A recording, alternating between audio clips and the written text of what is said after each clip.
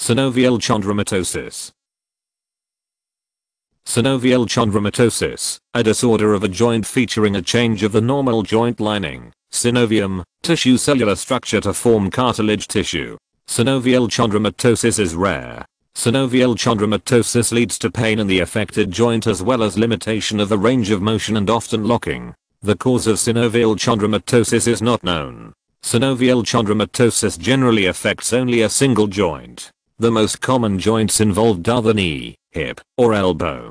Synovial chondromatosis can be diagnosed by an imaging test of the joint, such as CAT scan or MRI scan.